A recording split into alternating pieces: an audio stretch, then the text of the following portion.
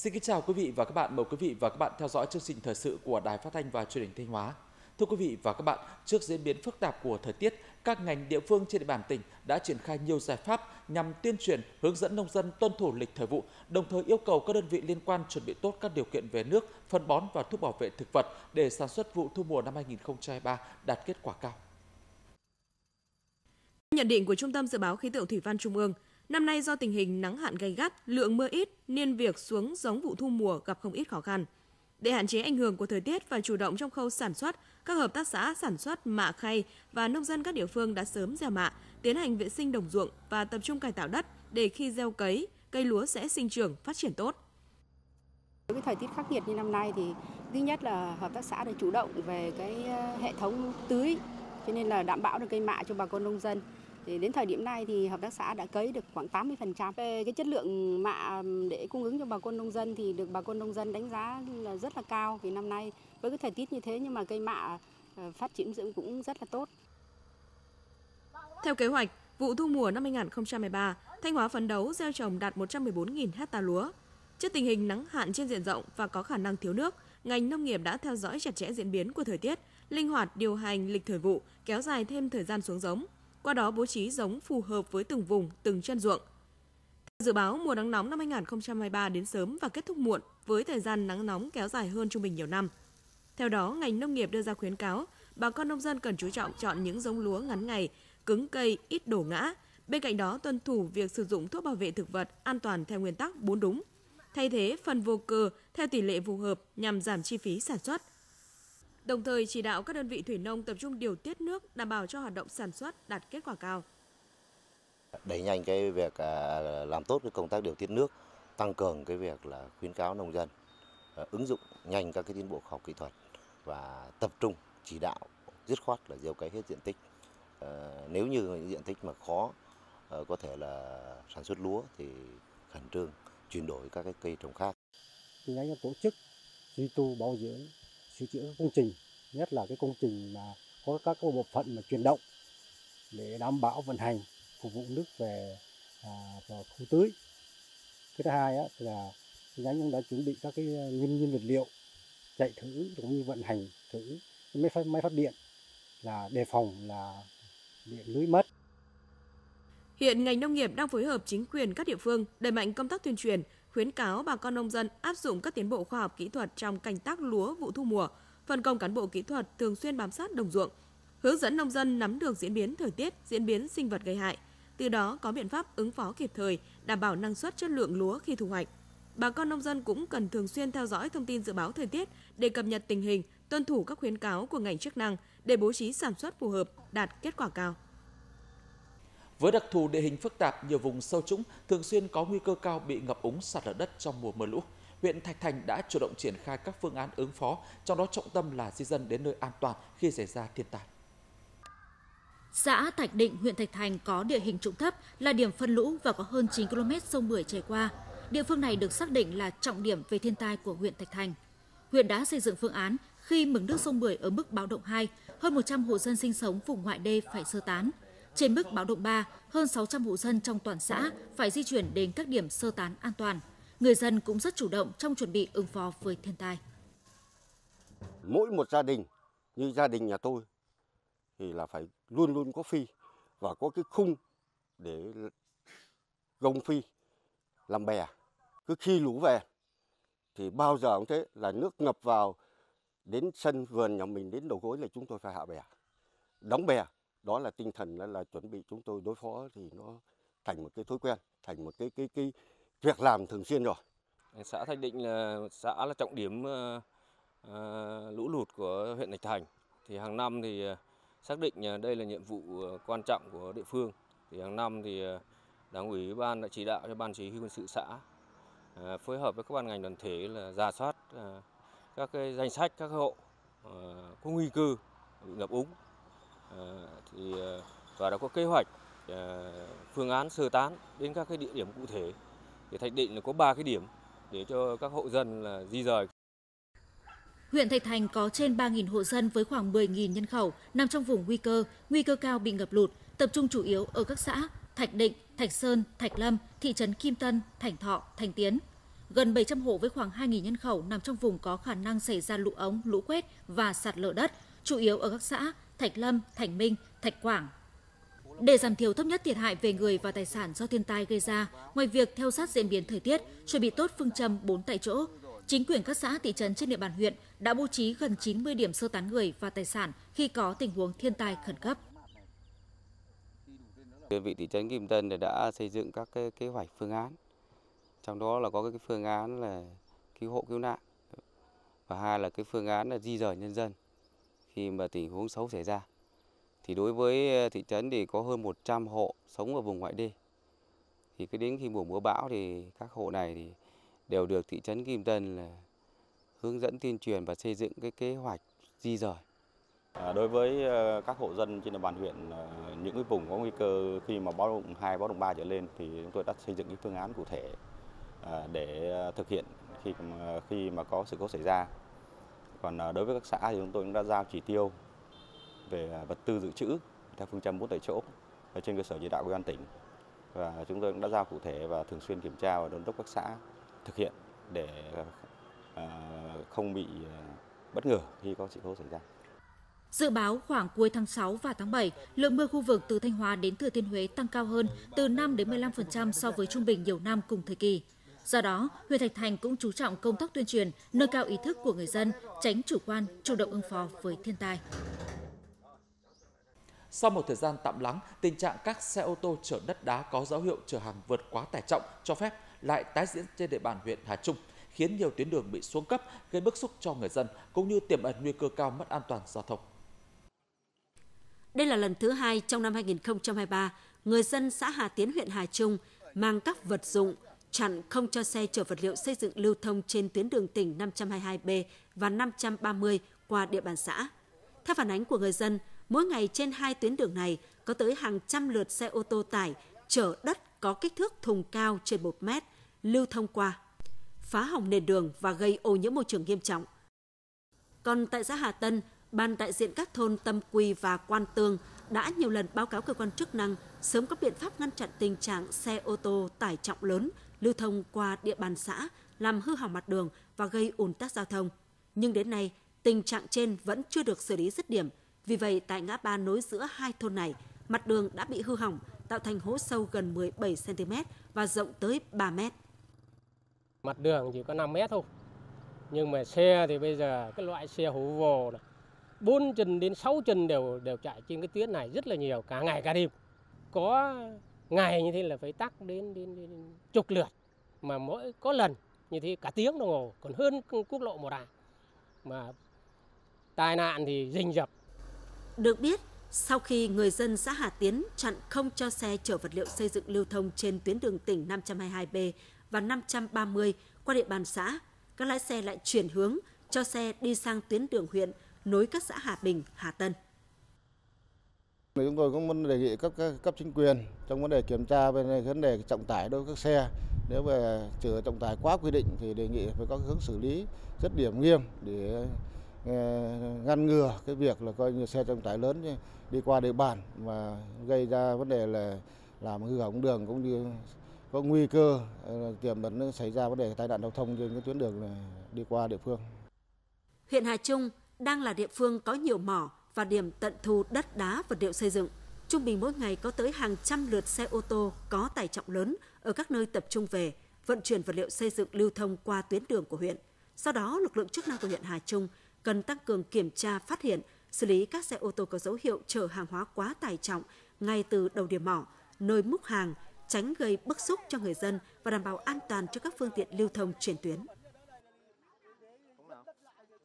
Trong những ngày qua, tuy việc cấp điện có cải thiện hơn nhưng khó khăn do thiếu nguồn ở khu vực phía Bắc vẫn hiện hữu khi sản lượng phát điện của các nhà máy thủy điện chỉ vẫn mới đạt khoảng 35% đến 50% so với cùng kỳ. Không những thế, tổ máy số 2 của nhà máy nhiệt điện Nghi Sơn 2 gặp sự cố kỹ thuật đã ảnh hưởng đáng kể đến sản lượng điện cung cấp lên hệ thống lưới điện quốc gia. Vì vậy, yêu cầu cấp bách vẫn là phải tiếp tục triệt để sử dụng điện tiết kiệm và đảm bảo cung ứng đủ phục vụ cho nhu cầu sản xuất và sinh hoạt của người dân. Việc tiết kiệm điện ở công ty điện lực Thanh Hóa được thực hiện triệt để. Cán bộ viên chức chỉ sử dụng cầu thang máy khi đi từ tầng 5 trở lên, tận dụng tối đa nguồn ánh sáng tự nhiên, không sử dụng đèn chiếu sáng hành lang, đèn chiếu sáng trong phòng làm việc. Phòng họp chỉ bật 50% số bóng đèn. Hệ thống điều hòa gần như không sử dụng, kể cả phòng làm việc của người đứng đầu các đơn vị. Cần thiết thì chúng tôi đi à, cho vận hành thang máy để chở các cái à, thiết bị dụng cụ mà từ trên cao với số lượng nhiều khối lượng nặng. Còn về các cái thiết bị văn phòng như ờ, điều hòa về phía quy định thì chúng tôi chỉ có uh, cho phòng giao dịch có điện lực là phòng uh, giao tiếp khách hàng vận hành nhiệt độ trên 28 độ phối hợp với quạt làm mát còn tất cả các phòng từ cán bộ công nhân viên ban giám đốc đến uh, các phòng ban là hoàn toàn tắt điều hòa thấu hiểu khó khăn chung của ngành điện đặc biệt là việc thường xuyên phải ngừng cung cấp điện từ thời điểm cuối tháng 5 đến nay nhiều doanh nghiệp không chỉ phối hợp với công ty điện lực Thanh Hóa trong điều chỉnh phụ tải phi thương mại, thực hiện các giải pháp tiết kiệm điện trong sản xuất sinh hoạt mà còn thay đổi hẳn lịch sản xuất cho phù hợp với điều kiện thực tế. Đây không phải là vấn đề ở riêng Đông Sơn nữa mà đây là vấn đề của quốc gia nên là cũng thông cảm và cũng sẽ cố hết sức để mà giảm cái tải điện à, khi cần thiết, đảm bảo cho hệ thống hoạt động ổn định. Nếu có mức điện thì cũng có báo trước Nhờ vậy mà nhà máy có thể bố trí được cái công tác sản xuất nó hiệu quả hơn, nó đỡ phiền toái cho mọi người. Để các doanh nghiệp chủ động kế hoạch sản xuất trong bối cảnh nguồn điện khó khăn, công ty điện lực Thanh Hóa đã phân nhóm khách hàng 110 kV và lập phương thức tiết giảm luân phiên theo ngày. Vì vậy, vẫn đảm bảo điện tốt nhất phục vụ sản xuất kinh doanh, nhất là lĩnh vực du lịch. Do vậy, dù khó khăn về nguồn điện, nhưng từ đầu năm đến nay, tình hình kinh tế xã hội trên địa bàn Thanh Hóa cơ bản duy trì ổn định – một số lĩnh vực phát triển khá so với cùng kỳ. Nổi bật là chỉ số sản xuất công nghiệp tháng 5 tăng 6,61% so với cùng kỳ. Tôi cũng biết rằng mùa hè năm nay à, do nắng nóng gay gắt kéo dài, trong khi nhu cầu tiêu thụ điện không ngừng nâng cao. Vì vậy, để duy trì được nguồn điện phụ tải, phục vụ cho sản xuất kinh doanh cũng như là sinh hoạt của nhân dân. Tôi đề nghị cộng đồng doanh nghiệp trên địa bàn tỉnh Thanh Hóa cần chung tay chia sẻ khó khăn với ngành điện trong giai đoạn hiện nay. À, thông qua việc thực hiện tiết kiệm điện một cách tối đa, sử dụng hiệu quả nguồn điện hiện có, đồng thời các doanh nghiệp cũng phải lập những phương án để không để bị à, gián đoạn trong sản xuất kinh doanh nhất là đứt gãy trong chuỗi cung ứng sản phẩm ra bên ngoài thị trường. Nguồn điện ở đây thì tương đối ổn định và song song với với cái việc đấy thì chúng tôi và chỉ đạo trực tiếp từ từ điện lực Sầm Sơn chúng tôi đã có đưa ra các biện pháp à, để ngăn ngừa các hậu quả liên quan đến lưới điện và đặc biệt là tiết tạng điện tiêu thụ dưới cái công suất cho phép để đảm bảo được cái nhu cầu vận hành ổn định thường xuyên của lưới điện. Thời gian tới, dự báo nguồn điện vẫn còn khó khăn và các địa phương trong đó có Thanh Hóa tiếp tục phải tiết giảm phụ tải vì vậy, sử dụng điện tiết kiệm hợp lý vẫn là yêu cầu cấp bách đối với mỗi gia đình, cơ quan đơn vị nhằm góp phần ổn định nguồn cung điện cho sản xuất và đời sống. Thưa quý vị và các bạn, ngày 31 tháng 3 năm 2023, Ban Thường vụ tỉnh ủy Thanh Hóa đã ban hành kế hoạch số 130 thực hiện kết luận số 48 ngày 30 tháng 1 năm 2023 của Bộ Chính trị về tiếp tục thực hiện sắp xếp đơn vị hành chính cấp huyện, cấp xã giai đoạn 2023-2030 với mục tiêu đến năm 2025 hoàn thành sắp xếp đối với các đơn vị hành chính cấp huyện, cấp xã, có đồng thời cả hai tiêu chuẩn về diện tích tự nhiên và quy mô dân số dưới 70% tiêu chuẩn quy định. Đơn vị hành chính cấp huyện đồng thời có tiêu chuẩn về diện tích tự nhiên dưới 20% và quy mô dân số dưới 200% tiêu chuẩn quy định. Đơn vị hành chính cấp xã đồng thời có tiêu chuẩn về diện tích tự nhiên dưới 20% và quy mô dân số dưới 300% tiêu chuẩn quy định đến năm 2030 hoàn thành sắp xếp đơn vị hành chính cấp huyện, cấp xã có đồng thời cả hai tiêu chuẩn về diện tích tự nhiên và quy mô dân số dưới 100% tiêu chuẩn quy định. Đơn vị hành chính cấp huyện đồng thời có tiêu chuẩn về diện tích tự nhiên dưới 30% và quy mô dân số dưới 200% theo tiêu chuẩn quy định. Đơn vị hành chính cấp xã đồng thời có tiêu chuẩn về diện tích tự nhiên dưới 30% và quy mô dân số dưới 300% tiêu chuẩn quy định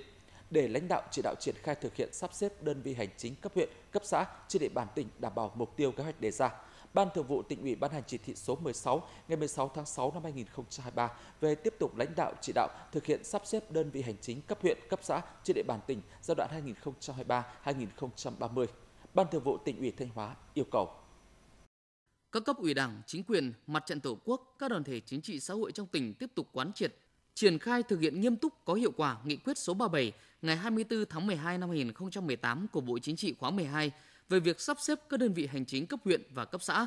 Kết luận số 48 ngày 30 tháng 1 năm 2023 của Bộ Chính trị khóa 13 về tiếp tục thực hiện sắp xếp đơn vị hành chính cấp huyện, cấp xã giai đoạn 2023-2030. Kế hoạch số 130 ngày 31 tháng 3 năm 2023 của Ban Thường vụ tỉnh ủy thực hiện kết luận số 48 của Bộ Chính trị và các văn bản chỉ đạo của Trung ương, của tỉnh về sắp xếp đơn vị hành chính cấp huyện, cấp xã giai đoạn 2023-2030. Đồng thời, coi trọng công tác chính trị tư tưởng, tuyên truyền, quán triệt, tạo sự thống nhất cao về nhận thức và hành động, sự đồng thuận của cán bộ, đảng viên, công chức, viên chức và các tầng lớp nhân dân trong việc sắp xếp đơn vị hành chính cấp huyện, cấp xã trên địa bàn tỉnh. Xác định rõ việc thực hiện sắp xếp đơn vị hành chính cấp huyện, cấp xã là nhiệm vụ chính trị trọng tâm xuyên suốt trong giai đoạn 2023-2030. Do đó, phải có lộ trình phù hợp dưới sự lãnh đạo trực tiếp của các cấp ủy Đảng, huy động sự vào cuộc của cả hệ thống chính trị và toàn xã hội.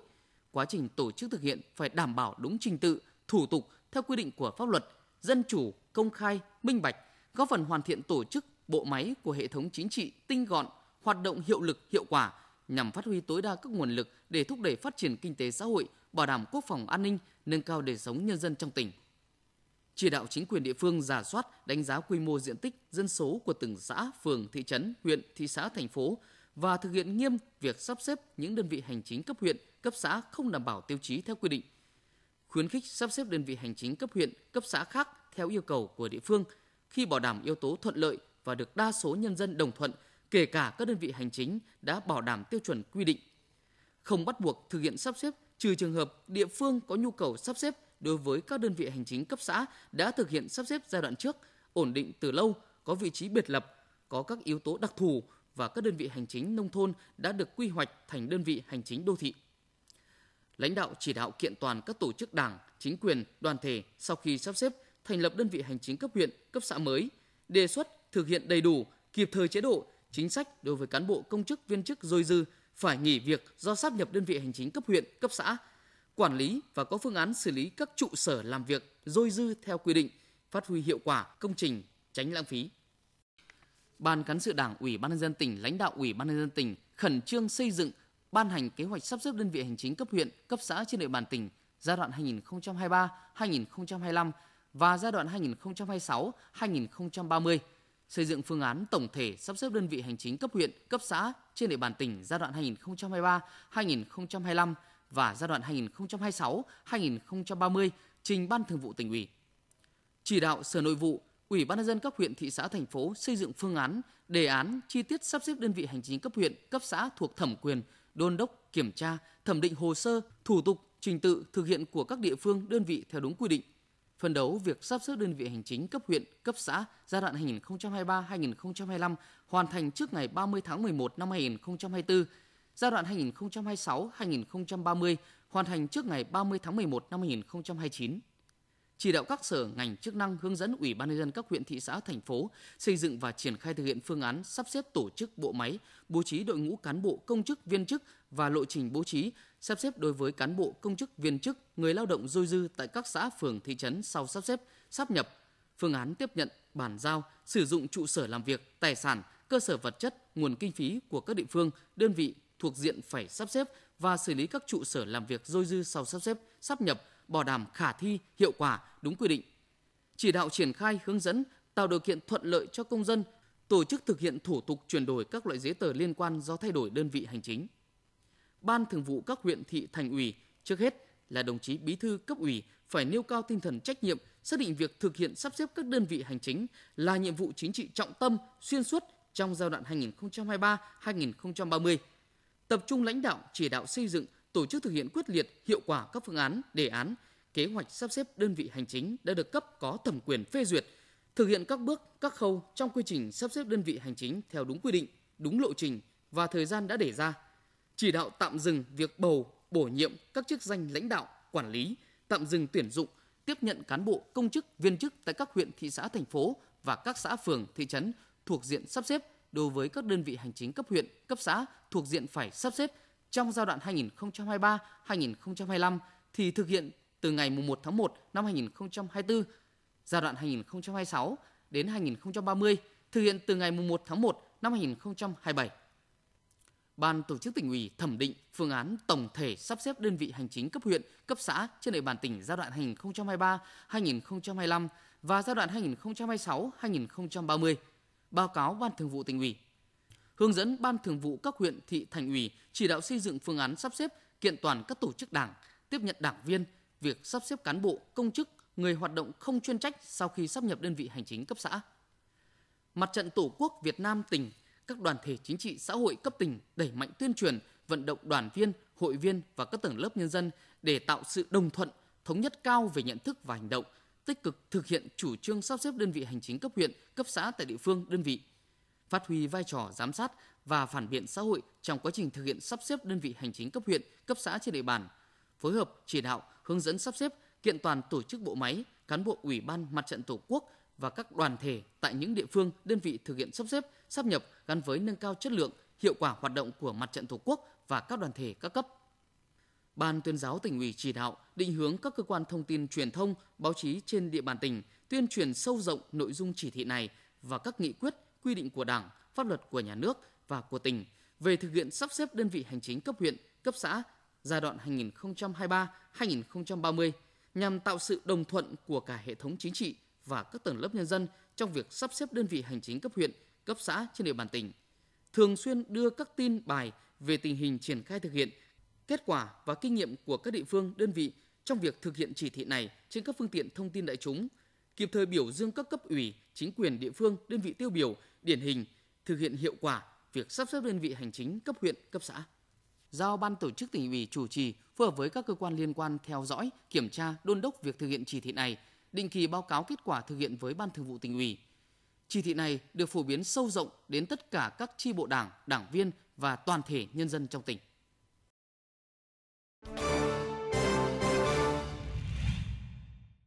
Thưa quý vị và các bạn, khơi dậy niềm đam mê sáng tạo, tinh thần vượt khó của đoàn viên, người lao động luôn được các cấp công đoàn coi là nhiệm vụ trọng tâm nhằm đẩy mạnh các phong trào thi đua lao động sản xuất và công tác tốt. Bởi vậy, trong những năm qua, phong trào lao động giỏi, lao động sáng tạo đã được các cấp công đoàn Thanh Hóa triển khai sâu rộng, nhận được sự hưởng ứng của đông đảo đoàn viên, người lao động. Sáng kiến cải tiến hệ thống bảng trượt thông minh Hồng Đức của một đoàn viên công đoàn công ty cổ phần thiết bị giáo dục Hồng Đức hiện đang được các nhà trường đánh giá cao do khắc phục những bất cập của các bảng trượt trên thị trường hiện nay. Sáng kiến này đã đạt bằng lao động sáng tạo năm 2022. Quan trọng hơn, sáng kiến đã giúp công ty bán ra thị trường số lượng bảng trượt thông minh tăng 1.000 cái so với những năm trước đó. Thì công ty là ờ, chú ý đến từng cái sáng kiến nhỏ của người lao động, từng cái ý tưởng nhỏ của người lao động để coi như phát triển lên và những cái thành quả của những cái sáng kiến ấy là người lao động được thụ hưởng. Cho nên người lao động suy nghĩ rất nhiều về những cái cải tiến để hợp lý hóa cái quy trình sản xuất. Hàng năm đoàn viên công đoàn, công nhân viên chức người lao động trên địa bàn tỉnh Thanh Hóa có hàng nghìn sáng kiến được công nhận. Các sáng kiến tập trung ở ba lĩnh vực: sản xuất, kinh doanh, y tế, giáo dục, quản lý hành chính. Với các phong trào thi đua như phát huy sáng kiến, cải tiến kỹ thuật, ứng dụng tiến bộ khoa học kỹ thuật, công nghệ mới vào sản xuất, phong trào đổi mới sáng tạo trong dạy và học, đẩy mạnh cải cách thủ tục hành chính, nâng cao chất lượng thực thi công vụ trong cán bộ công chức, viên chức. Các đề tài sáng kiến được áp dụng vào thực tiễn, góp phần nâng cao năng suất lao động, chất lượng sản phẩm cũng như cải thiện điều kiện làm việc, đổi mới công tác quản lý trên các lĩnh vực. Từ những cải tiến, những cái sáng kiến kỹ thuật ờ, đã được ờ, áp dụng tại bệnh viện. Ví dụ như là có những cái ờ, sáng kiến đưa vào để chăm sóc người bệnh toàn diện được thực hiện tại khoa cấp cứu rồi nhiều các cái dịch vụ kỹ thuật đã được triển khai tại khoa ngoại. Các các thủ thuật kỹ thuật được thực hiện tại khoa đông y khoa học cổ truyền. À, từ đó đã đem được cái sự hài lòng cho người bệnh. Không chỉ khơi dậy được tiềm năng trí tuệ của người lao động mà phong trào thi đua lao động giỏi, lao động sáng tạo đã tạo nên sức mạnh tổng hợp để các doanh nghiệp, cơ quan đơn vị ổn định và phát triển. Các cấp công đoàn Thanh Hóa sẽ tập trung đổi mới phương thức chỉ đạo, tổ chức phong trào thi đua với phương châm hướng về cơ sở, gắn kết chặt chẽ nội dung phong trào thi đua, lao động giỏi, lao động sáng tạo với các phong trào thi đua do các ngành địa phương phát động, đồng thời đẩy mạnh tuyên truyền nhân rộng những tấm gương tiêu biểu để thúc đẩy phong trào ngày càng phát triển. 6 tháng đầu năm 2023, mặc dù tình hình kinh tế còn gặp khó khăn, nhiều đơn vị doanh nghiệp bị cắt giảm đơn hàng, thu hẹp thị trường. Tuy nhiên, toàn tỉnh Thanh Hóa vẫn tạo việc làm mới cho hơn 30.500 lao động, bằng 103% so với cùng kỳ năm ngoái. Con số này đã minh chứng cho hiệu quả của hàng loạt giải pháp đang được các địa phương doanh nghiệp trên địa bàn tỉnh triển khai nhằm đảm bảo việc làm và thu nhập cho người lao động. Sau nhiều năm làm công nhân trong miền Nam, đầu năm 2023, anh Mai Văn Cảnh ở xã Nga Giáp, huyện Nga Sơn đã quyết định về quê làm việc. Với tay nghề sẵn có, anh Cảnh đã được một công ty may trên địa bàn tuyển dụng với mức lương đảm bảo, thu nhập ổn định, môi trường làm việc tốt, lại được ở gần nhà là những lý do khiến anh Cảnh quyết định gắn bó lâu dài với công việc này. Khi em ở trong Sài Gòn về miền Bắc này vào công ty thì em thấy mọi thứ nó bình ổn. So với điều kiện em làm ở trong Nam thì công ty đáp ứng mọi điều kiện cho người lao động và về mọi mặt, thứ nhất là mọi chế độ công ty thì có điều kiện làm việc mát mẻ, chế độ phúc lợi thì được ưu đãi nhiều anh Cảnh là một trong số hơn 30.500 lao động được tỉnh Thanh Hóa tạo việc làm mới trong 6 tháng đầu năm nay. Số lượng này đạt 52,7% kế hoạch năm và bằng 103% so với cùng kỳ năm 2022. Con số này đã chứng minh cho sự nỗ lực của các đơn vị doanh nghiệp trong duy trì hoạt động sản xuất kinh doanh, đảm bảo việc làm, thu nhập và các chế độ phúc lợi cho người lao động. Đồng thời, chính quyền các địa phương cũng đã thực hiện nhiều chính sách thu hút đầu tư, kịp thời tháo gỡ khó khăn vướng mắc cho doanh nghiệp. Chúng tôi cũng đã có những cái thông tin tuyên truyền trên hệ thống truyền thanh rồi trên các cái hội nghị để tạo điều kiện cho các doanh nghiệp là có thể tuyển thêm được lao động. Cái thứ hai đó là à, nắm bắt được cái khó khăn của các cái doanh nghiệp trên địa bàn thì chúng tôi đã thành lập các cái đoàn công tác xuống trực tiếp làm việc với các doanh nghiệp để cùng lắng nghe, tháo gỡ những cái khó khăn, để làm thế nào đấy để các doanh nghiệp ờ, ờ, ổn định ờ, trong sản xuất kinh doanh tạo việc làm cho người lao động trên địa bàn của huyện. Với cái chính sách của chúng tôi để thu hút người lao động là chính sách là bằng là cái hiệu quả trong năng suất, chất lượng và cái thu nhập người lao động để người lao động tự tìm đến. Để giúp người lao động thuận tiện trong việc tìm kiếm thông tin việc làm, Trung tâm Dịch vụ Việc làm Thanh Hóa đã thường xuyên kết nối với doanh nghiệp, cập nhật nhu cầu lao động trên trang thông tin điện tử, trang mạng xã hội, đồng thời đẩy mạnh hoạt động tư vấn trực tuyến, tư vấn qua điện thoại. Từ đầu năm đến nay, trung tâm đã tổ chức 30 phiên giao dịch việc làm định kỳ tại trung tâm và tại các huyện thị xã trên địa bàn tỉnh. Với 261 lượt doanh nghiệp, cơ sở giáo dục nghề nghiệp tham gia, cung cấp thông tin về thị trường lao động, tư vấn việc làm cho khoảng trên 14.600 người lao động. Trong ờ, 6 tháng ờ, cuối năm, đặc biệt là quý 3 này, thì theo cái dự báo của trung tâm về cái lực lượng người lao động bị cắt giảm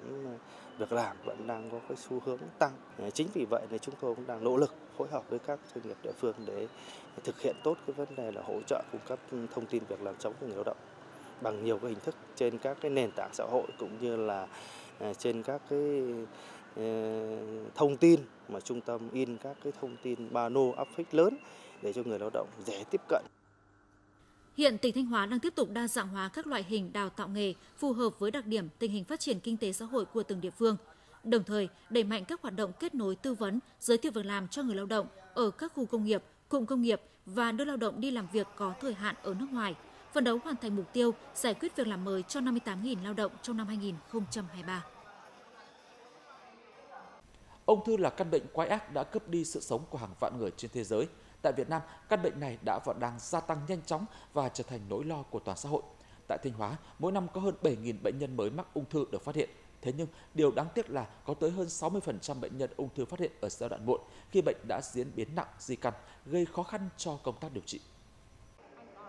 Việc phát hiện ung thư ở giai đoạn sớm sẽ mang lại hiệu quả điều trị cao cho người bệnh. Nhiều tổn thương ung thư có thể điều trị khỏi hoàn toàn nếu được phát hiện sớm, như ung thư dạ dày, đại tràng, vú, tuyến tiền liệt, tuyến giáp. Các bệnh lý ung thư khác nếu được phát hiện sớm cũng sẽ tăng hiệu quả điều trị và chất lượng cuộc sống cho bệnh nhân. Tuy nhiên, theo thống kê của các bệnh viện điều trị ung thư trên địa bàn tỉnh Thanh Hóa, hiện nay có tới hơn 60% bệnh nhân ung thư đến giai đoạn 3, giai đoạn 4 mới được phát hiện khi bệnh đã diễn biến nặng và di căn.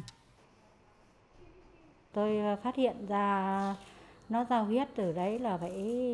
mấy tháng rồi thì lại cứ bảo là cái bệnh phụ nữ đấy thì là bảo mãn kinh với ấy đây cứ là cũng cứ không nghe đau nghe đớn gì cả. Thế là đến sau là nó ra nhiều ấy là bắt đầu ấy tôi mới đi xuống bệnh viện khám. Thì à, bác sĩ bảo là quá trình phẫu thuật rồi nó hơi muộn. Thì uh, bây giờ phải truyền hóa chất đấy để cho nó keo lại thì sau rồi cái